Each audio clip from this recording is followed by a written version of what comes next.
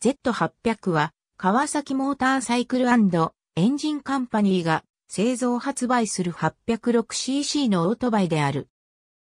Z750 の後継者である。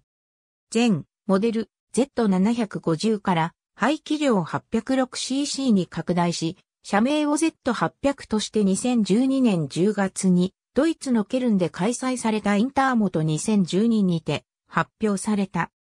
本モデルは日本国内生産ではなく川崎タイランド生産である。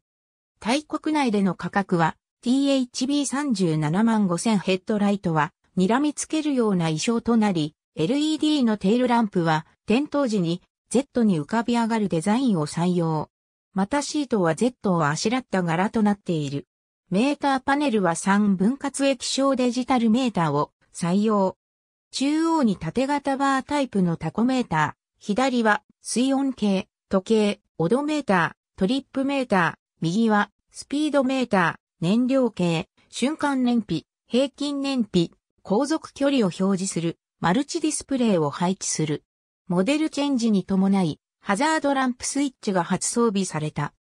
ABS 装備車と非装備車が用意され、標準モデルのほか2013年からの欧州免許制度に適合し、パワーを割いた 35kW、70kW モデルの E バージョンや、外装を変更し、マフラーをアクラポビッチ製に乾燥したパフォーマンス仕様も用意されており、それぞれ標準モデルとはデザインに一部違いがある。2018年に後継者の Z900 が発表された。Z900ABS 連投の排気量を手に入れたニューゼットが登場川崎一番。ありがとうございます。